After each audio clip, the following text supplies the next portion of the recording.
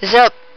Um, this time I just want to share with you guys two cool programs that allow you to have multiple desktops on your XP. Um, these are totally free and you might have had heard of them before, but I just want to share them with you anyway. So first off is called Yod'm 3D. Basically allows you to have multiple desktops and gives you this cool switching effect when you're switching between windows or between desktops. So let's just activate it. So I'm just going to press my hotkey. And as you can see, um, I, I also um,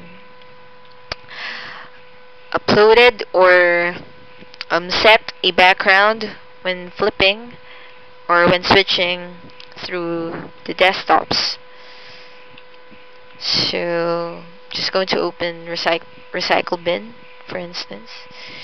So this would be my desktop one. So so I'm going to open another program here. Mm, how about um, Notepad? So basically, you're you're having um um a lot of space because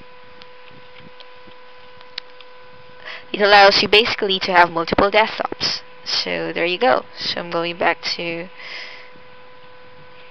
notepad. And also you can um, zoom set your transparency um, change your background and pretty much um, tweak or alter your settings according to your own liking. So it's pretty cool. So I'm just going to exit this. Um, next program is called VirtuaWin. So this is also for free. And um, basically it also allows you to have multiple desktops on your XP. And it has four, um, this is the icon. So this is desktop 1. It allows you to have four um, desktops and like Yod'm 3D it just gives you more space. So just press the hotkey. So this is desktop 3 and this is desktop 4 so those are the programs that I wanted to share. So thanks for watching